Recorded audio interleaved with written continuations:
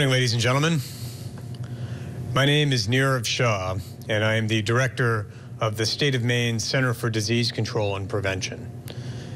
I'd like to provide everyone an update on the COVID 19 situation across the state.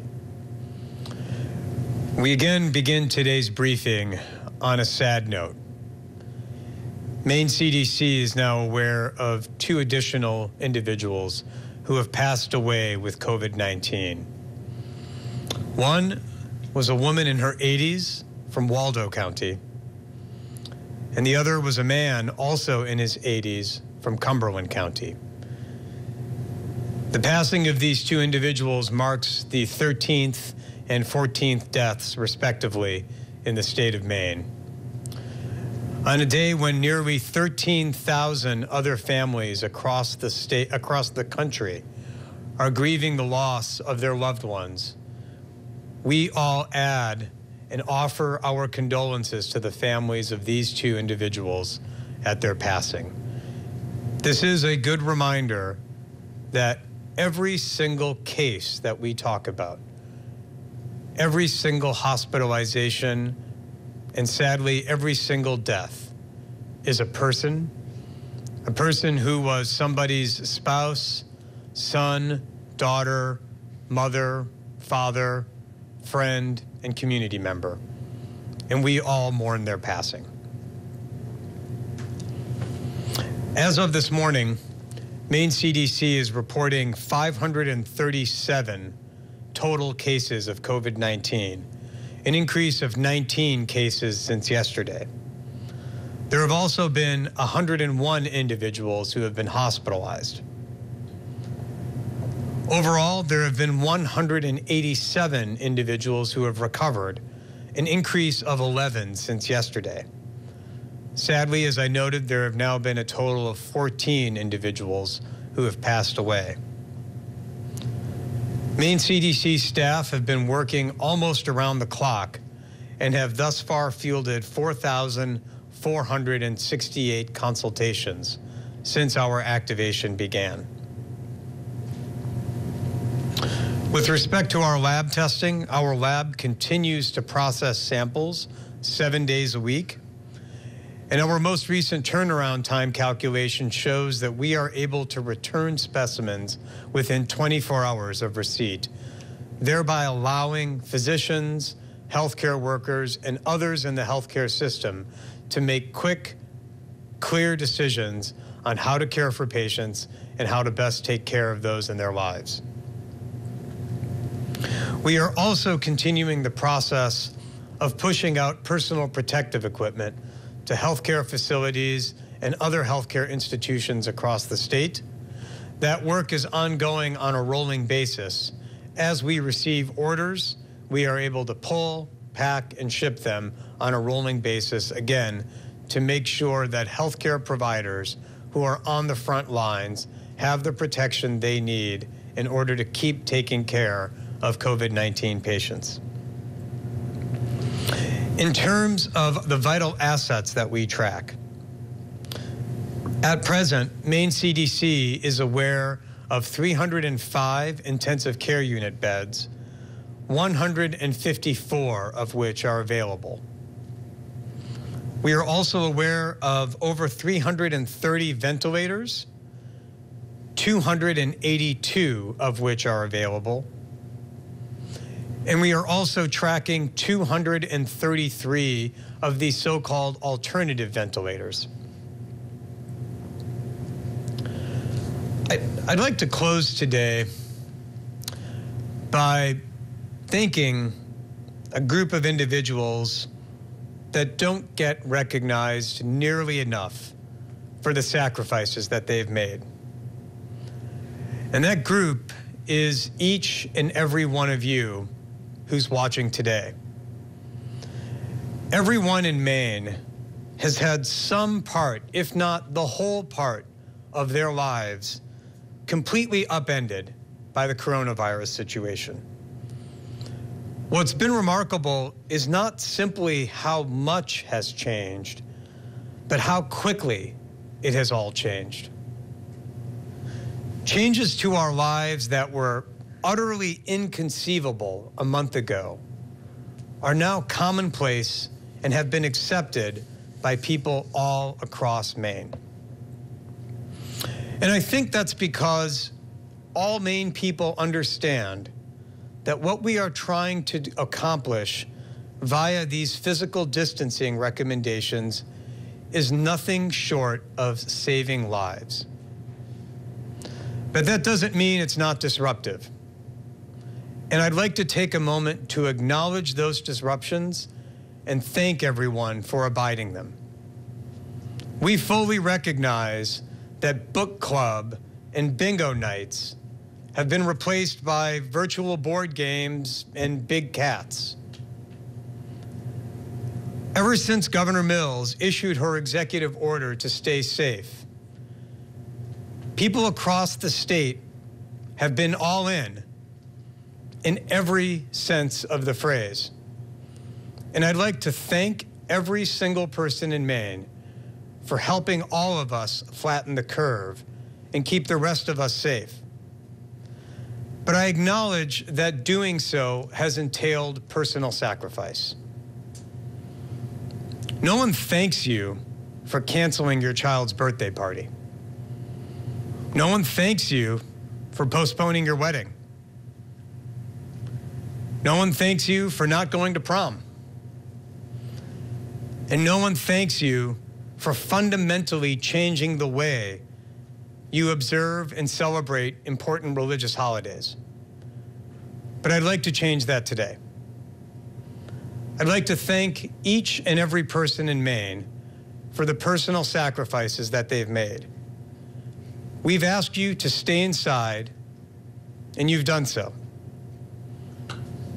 Three months ago, who would have ever thought by canceling a birthday party or a pub crawl or a prom, you could actually help save lives? But that is precisely what your actions or inactions have done. And so, on behalf of everyone else in Maine, thank you for doing your part to keep the rest of us safe. I'd like to pause now and take some questions from our colleagues in the media who are joining by phone. And we will start with Joe Lawlor from the Press Herald.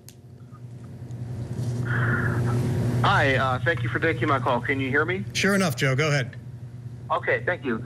Um, I was wondering what you thought of uh, efforts in Massachusetts, uh, the um, uh, partners in health, where they're really ramping up the um, contact tracing, you know, having hundreds of people doing a, a phone bank. Is that a, a, good strategy?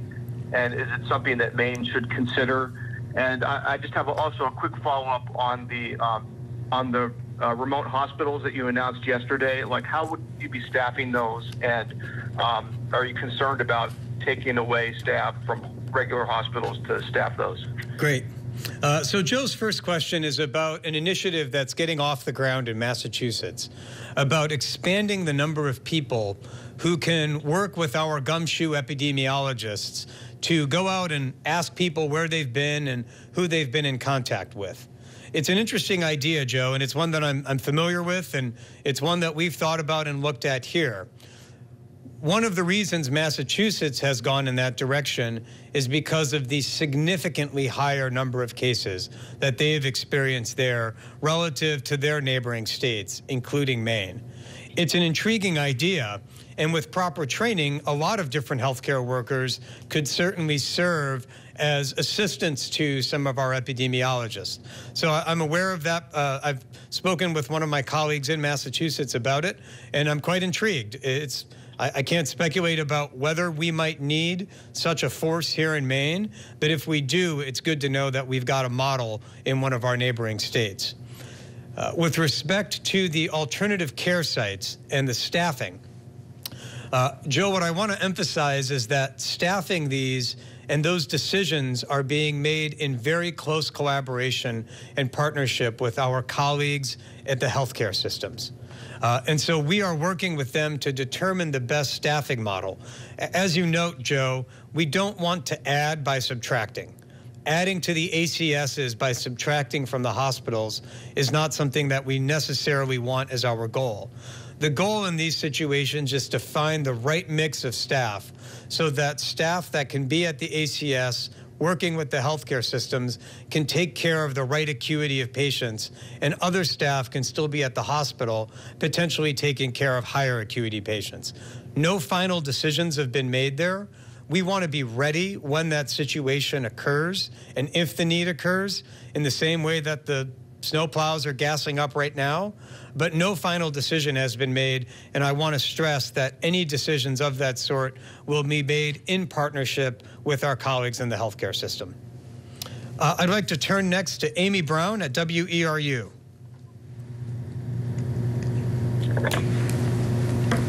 Thank you, Dr. Shah. Uh, I'm wondering two things. One, is there any thought still that there might be a seasonal variance in this, a reduction in the number of places as we approach the warmer months, given that places like New Orleans have massive outbreaks during warmer weather?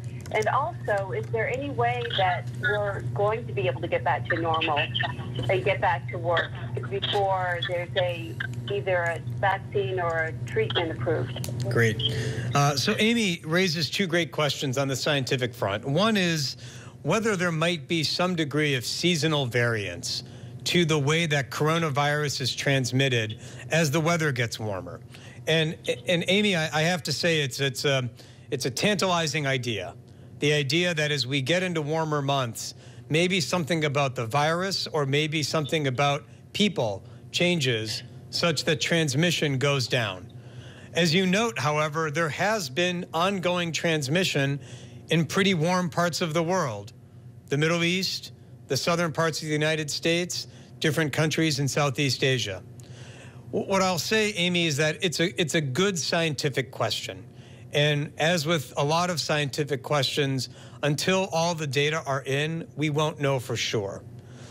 Based on the last time that I've heard Dr. Anthony Fauci speak about this, his view at that time, which was about a week ago, and so much can change, but his view at that time was that even if there were to be some degree of seasonal variation, it probably wouldn't be on the scale of what we see with influenza where influenza really drops off. Not to zero, but quite significantly. But again, so much is changing. Scientists are learning more and more about the spread. And really, as, we, as we've seen in other warmer parts of the country, like New Orleans and southern Florida, transmission can still occur. Uh, your second question is something that's been on the minds of a lot of folks which is what does returning to normal look like and when might that happen? Now, speculating as to when is difficult uh, because so much is changing. But what I can say, Amy, is that in the same way that we climbed the stairs up toward where we are now with the various restrictions that are in place, putting them in in layer upon layer as the situation changed, we will probably similarly and in reverse order climb back down the stairs in the same way. So there probably will not be a big switch that is flipped and one day everything will go back to normal. That process, in the same way we got here in a stepwise fashion, will probably we will probably be reemerging in a stepwise fashion as well. When that happens is difficult to speculate. But what I can tell you is that the team here at Maine CDC with the team at the US CDC is taking a look at the data on an almost hourly basis to look for signs of when we might be able to move in that direction. We haven't seen them yet, but when we do, of course, we'll be ready to share. Um, I'd like to turn next to Don Carrigan at News Center. Good morning, Dr. Shah. Uh, two questions related about about hospitals. Uh, there was a newspaper story this morning suggesting that CDC doesn't know day to day how many COVID 19 patients are actually hospitalized. Uh, is, is, that, is that the case? And if it's true, how much of a problem is this to your efforts to predict uh, how much more uh, of a how much more of a demand there will be on the healthcare system? Great. Uh, so Don's question is about hospitalizations, current hospitalizations. And, and Don, what I can tell you is that this has been a challenge across the country, trying to get a handle on the current number of hospitalizations. Uh, we work with hospitals in outbreak situations on a variety of fronts. And I'm quite proud of the way in which the state of Maine has worked very closely, hand in glove, with hospital systems across the state. What we've encountered are challenges that other states have encountered as well, which is to say, making sure that the data that we have around hospitalizations squares up with and is accurate in comparison to what the hospitals have. So, for example, hospitals send us reports, but if those reports contain, for example, patients who are out of state residents, or patients who are awaiting confirmatory testing, or patients who are merely suspected of having COVID 19 but haven't received a diagnosis, we have to square that up against the diagnostic data that we've got. Doing so requires a team of epidemiologists, and our team of epidemiologists is, is working on just that. This is a problem, and this is a phenomenon that's occurred in other states. And we're working as well with the US CDC to try to come up with a national way to get an accurate count of the current number of individuals who are hospitalized at any one time. What I will say is that on a day to day basis, it doesn't really affect our projections. What we generally look at are the total or cumulative number of folks who have been hospitalized. Although I, I, I agree that knowing the exact snapshot on any one day is also important. So I'm not diminishing the value of the data, but I want to be straight with everybody about the challenges that we have in getting an accurate number, one that can be reported in a way that we have fidelity and, and comfort that the answer, the number itself, is 100% accurate. We're working really, really hard on that.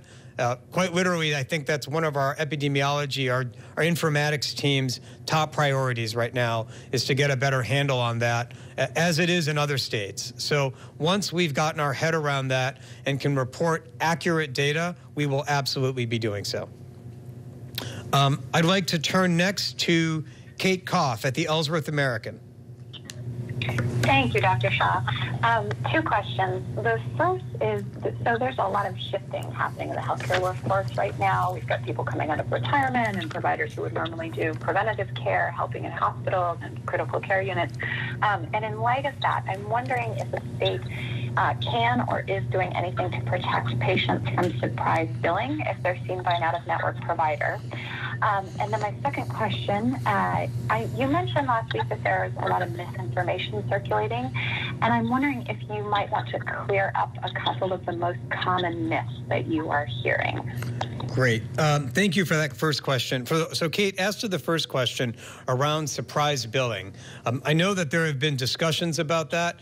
Uh, I'm going to actually, uh, just to make sure I get you the most accurate information, I'm going to actually ask Robert Long, our communications director, to follow up with you and put you in touch with folks in the administration who will make sure that anything we give you is 100% accurate. Again, I know that there have been discussions, but I want to make sure anything I report is, is up to date. So Robert will be in touch with you to get you information. Um, but Kate, you asked about some common myths and myth, misconceptions. And, um, you know, in the same way that the outbreak changes really quickly, the most common myths and misconceptions change really quickly as well.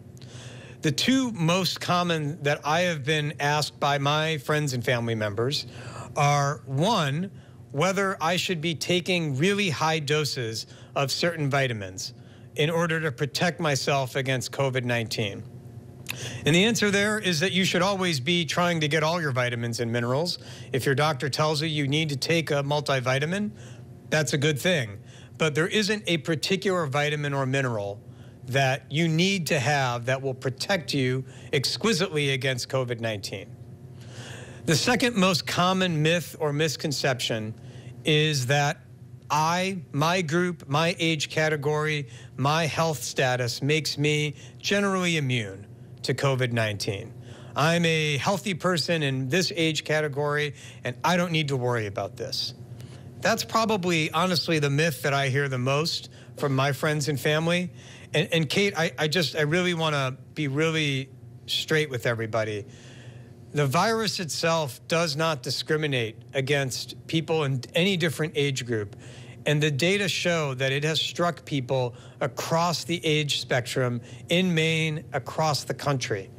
And so, even if you are a person who is young and healthy and has no pre existing conditions, the virus can still strike you. And when it does, it can be very, very serious. And so that is probably the one thing that I would ask everyone to bear in mind is that irrespective of your age, the virus can still strike. Um, I'd like to turn next to Steve Betts at the Courier Gazette. Yes, thank you, Dr. Shah. Uh, I want to do a follow-up question to an earlier question. At what point, number-wise, for instance, if there's no new cases for a few weeks, at what point would you recommend uh, loosening up on the restrictions that are in place now for uh, physical activity, for going out going out in the public? Great. So Steve's question is, uh, what kind of signposts might we look at to try to get a sense of when we can start having discussions about lifting some of these restrictions? And, and Steve, it is partly about a lack of new cases or a size uh, uh, or a decrease in the number of new cases. That is part of it. Uh, there's not a single number that we've written on the whiteboard that will tell us when things can start going back to normal, because there are other things we look at as well. We look at, for example, how the disease is continuing to spread. So, for example, in the same way that Oh, let me let me say this differently, Steve. There's not a single outbreak of coronavirus going on in the United States right now. What there really are are multiple, somewhat different outbreaks going on across the country. And we see that even within Maine. The outbreak in Cumberland and York County, where community transmission has been detected, is different from the few cases that we've seen, say, in Penobscot County where there has not been community transmission. So the complexion of the outbreak is different in different parts of the state, which, Steve, to your question, means that the way in which we loosen restrictions may differ in different parts of the state as well. We also take, in mind, take into account not just the number of cases, but who's in those counties. So if a particular county has a higher than average population, relative to other places, or a higher than average number of long term care facilities and nursing homes. We take those things into account as well.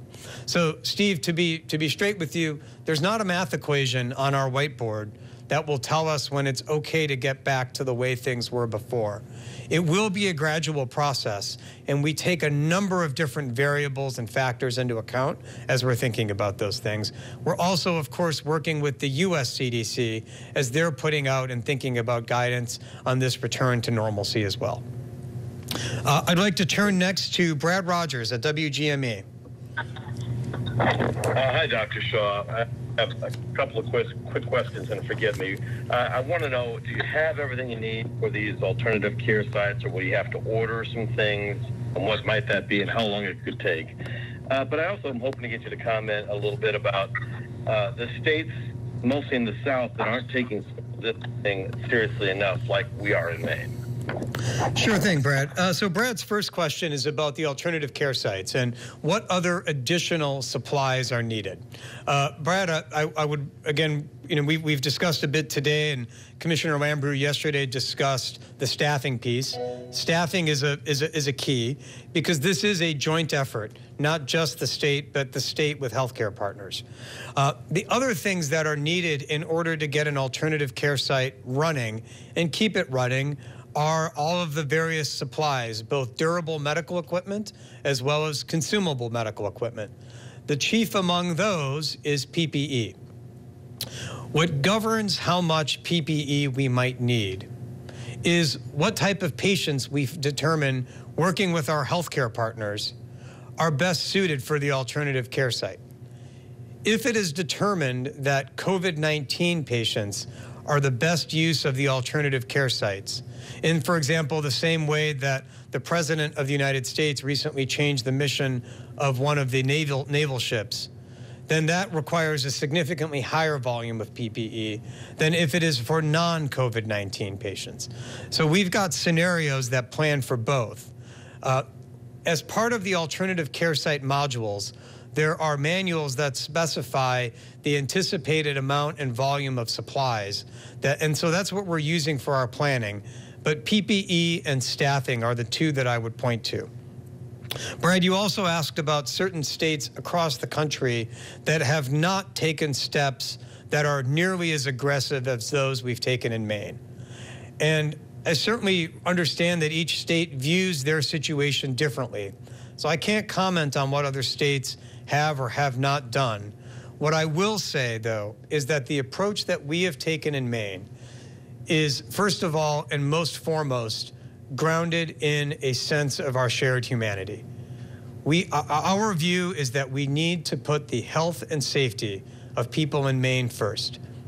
But we do so, and we do so not in an abstract system, but taking into account science, data, and continually revisiting the questions that we've asked to see what's changed. I can't comment on how other states have gone about their planning, but I know that we've been quick, we've been concise, and we've been aggressive. And that's because our approach is one that's motivated by our desire to take care of people and grounded in data and science. I'd like to turn next to Dan Neumann from the Maine Beacon. Uh, thank you, Dr. Shah. Um, there's been some significant disparities around race, uh, race uh, shown in other states. Um, is race one of the demographics uh, being tracked by the Maine CDC? And is there anything to report yet? Uh, so, Dan, that's a great question. As you note, just in the past few days, there have been some quite disturbing data that have been published by some other cities about the stark racial differences in not just who gets diagnosed with COVID, but also sadly who passes away. Uh, the most stark that I saw were in the city of Chicago, where nearly 70% of the fatalities from COVID 19 were among African Americans. Uh, we, of course, are tracking similar data here. We haven't yet seen those stark disparities in Maine, uh, but we are keeping track of that. We are noting those disparities that have emerged in New Orleans, Chicago, Detroit, and elsewhere. And certainly, if we start to see signs of them, that, that will be an alarm bell for us. We are not just waiting until we see those signs, though. And Dan, I want to be really clear on this. We're not just waiting for the data to evolve before we start taking action.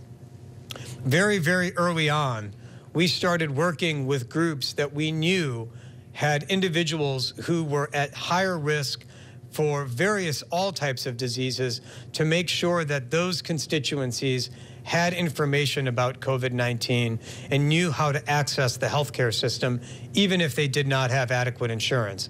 And we continue to have those conversations to make sure the least equipped in Maine are well equipped to handle COVID 19. So we're not just waiting for bad data to appear. We wanted to think ahead on this and make sure that folks are equipped. I'd like to turn next to Steve Mistler from Maine Public. Thank you, Dr. Shah. I guess I just have a general question for you. Um, I guess, um, do you what, what, what, do you, as you prepare for, you know, worst case scenarios or, you know, what may be coming as in terms of a peak, what is, what are you most worried about or what's at the top of your list of priorities? Is it testing capacity? Is it PPE? Is it better coordination with the hospitals? I guess what's just, what's most pressing for you at this point? What might, might keep you up at night? Yep. Um, well, um, Let's see, Steve. Uh, so Steve's question is is where, where where are what are the the things that are on the horizon that are deeply concerning right now, and what are we what are we focused on? And Steve, I will I, I would I would shine a light on a couple of things. Uh, the first is the continued availability of PPE. Uh, as, as, as everyone is aware, we have received, according to the Strategic National Stockpile, we have received what Maine will receive for the time being, uh, which means now we have to turn both to other sources of PPE, as well as to look to manufacturing PPE within the state. PPE is vital, even in a world where high numbers of, especially in a world where increasing numbers of people are being infected. We need to have PPE to keep our frontline healthcare workers safe. So, Steve, that's a concern. Uh, another concern that is high on our list is making sure that individuals who are not well can access health care expediently. Uh, this kind of goes back to Dan's question a moment ago about health equity. Health equity uh, informs much of our approach, if not all of our approach. And what I'd hate for us to do is to lose sight of the least well equipped in Maine and, and have COVID 19 fall disproportionately hard on their shoulders. So, one of the things that we're trying to do now is work with those groups, work with, say, federally qualified health centers to make sure they've got everything because groups like that are often the first and sometimes the only point of access into the healthcare system for individuals who are uninsured or underinsured. So those are two things that we're working on at our, with our team right now to try to get ahead of before we see any peak whatsoever. Uh, I'd like to turn next to Megan at WMTW. Dr. Shah, my question is sort of piggybacking off of one of your last answers. Um, being that PPE is so vital to all of the healthcare workers on the front lines, we've heard from uh, some viewers wondering uh, if they, you know, first responders and such, if they will ever, or I mean, I understand there's a slippery slope and it gets problematic, but will we know, uh, you know, the concentrations of who has COVID 19 in certain counties or where it is the highest so that if they respond to a call, they might be able to save PPE if they don't think it is a COVID 19 patient or sure it's not a COVID 19 patient. Sure, Megan, that's a, that's a good question. I'm glad that you raise it. Um, because, first of all, we one of our primary aims from the very beginning of our work was to make sure that our first responders who are out there in the field putting their lives on the line every single day, that they were are as well equipped as they can be, not just with information but with PPE.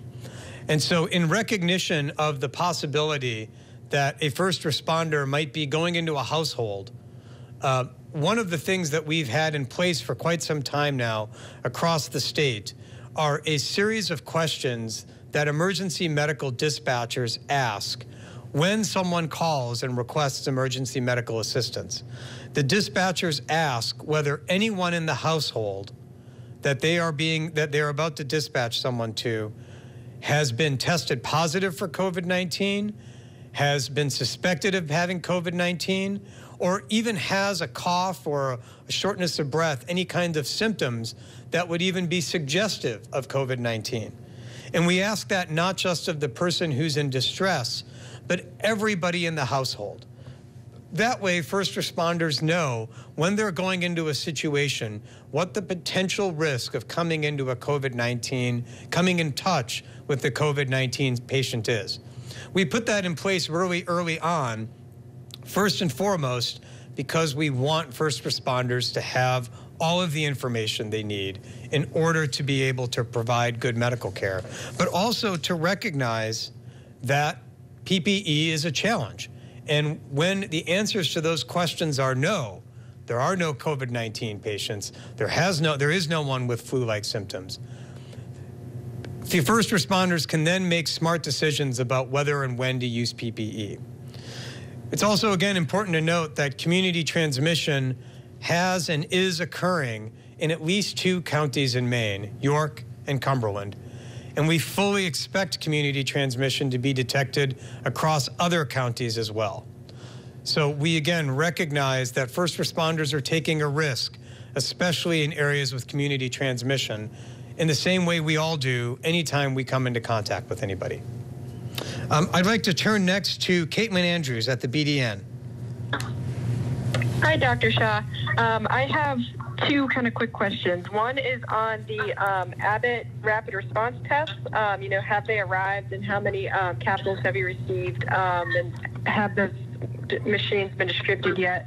And um, then I have another question about the temporary care units, but if you can address my first one. Sure, go ahead. I'll, I'll, I'll go ahead on that one. So, um, the state of Maine uh, was able to secure 15 of the Abbott test machines. We initially thought that we would be receiving, uh, and these are just the machines that run the test itself, uh, kind of like the microwave that does the cooking. But what's equally important in these situations is the test kit, the chemicals where the patient's sample is placed and put into the microwave.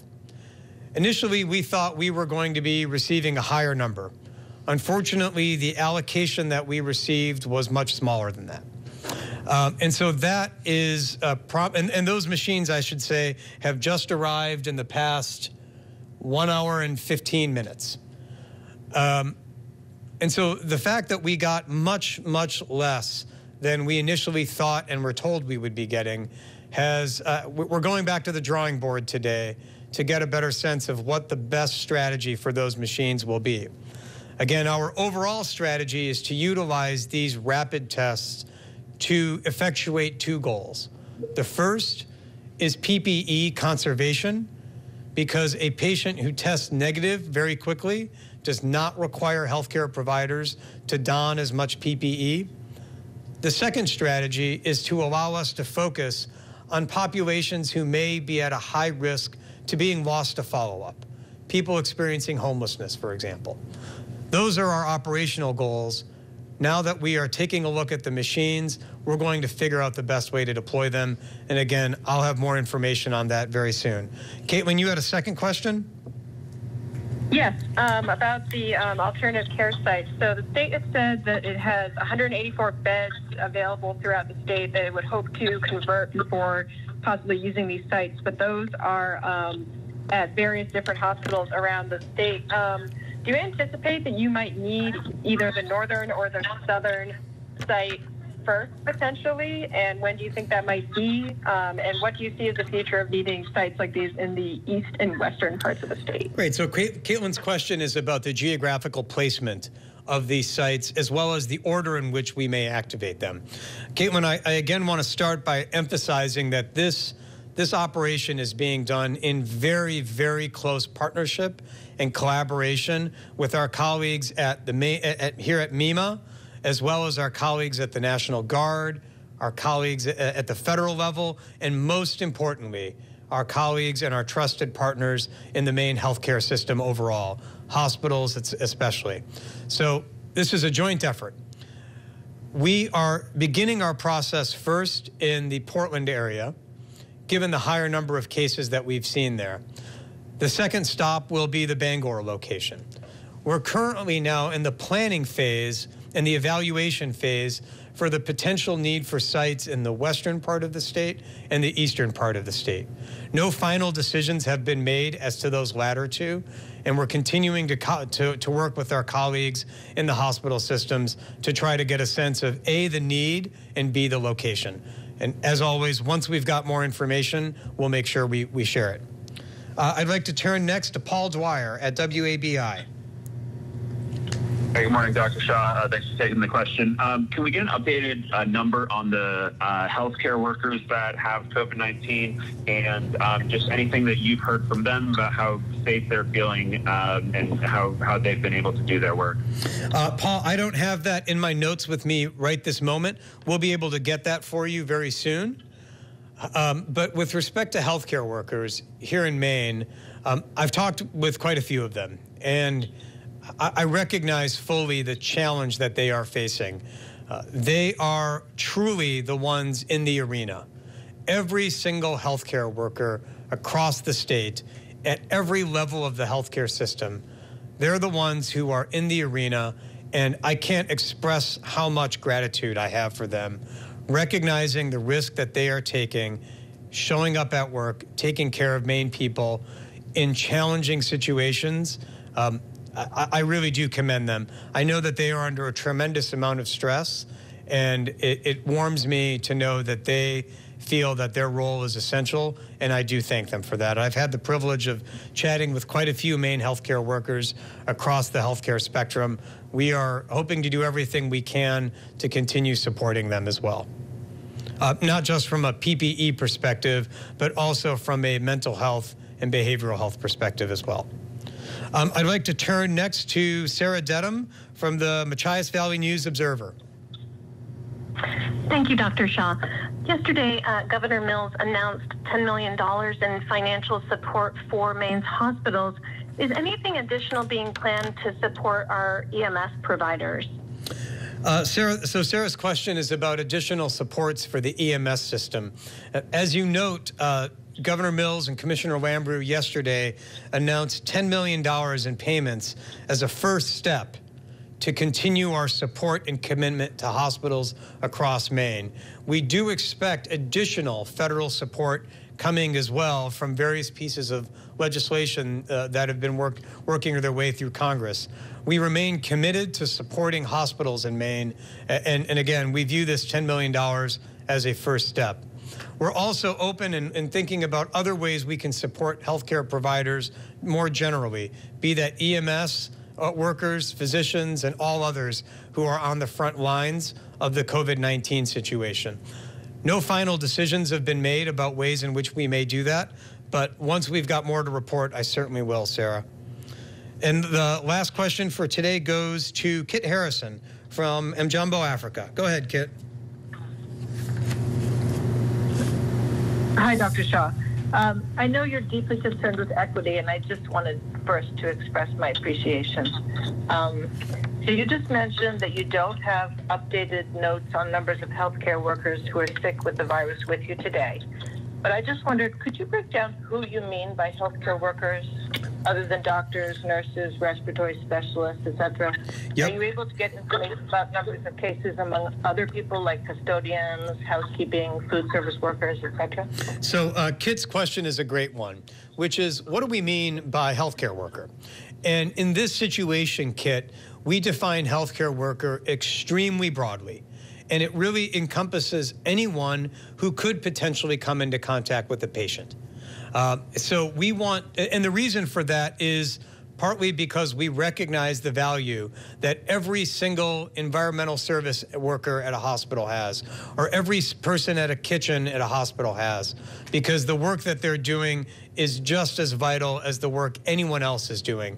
And so we believe they deserve the respect of being included in our definition of healthcare worker. It's also a matter of public health. Uh, part of the reason we track and are especially solicitous and concerned about healthcare workers is because they may come into contact with patients and thus transmit the disease or acquire the disease. It's both. So, for that reason, we cast a very broad net for when we talk about healthcare workers, and we define it to include anyone who may come into contact with a patient and thus be at risk for acquiring COVID 19 or transmitting COVID 19.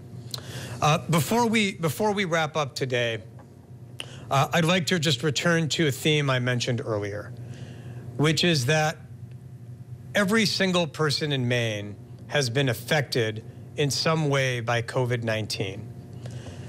And I think it's important that we acknowledge the way in which all of our lives, to varying degrees, have been upended.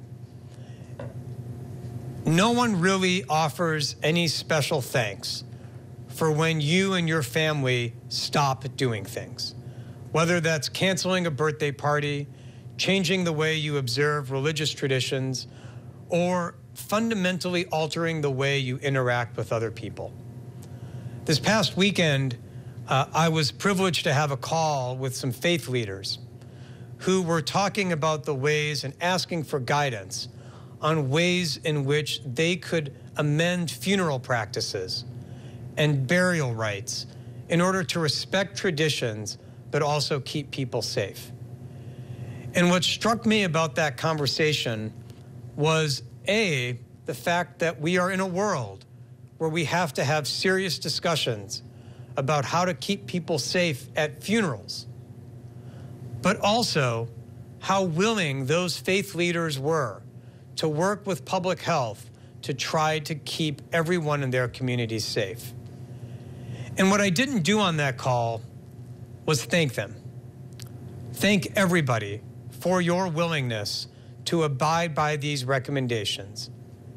Never would I have thought by canceling a birthday party or by not going to prom or by changing the way a burial rite happens, we could actually save lives.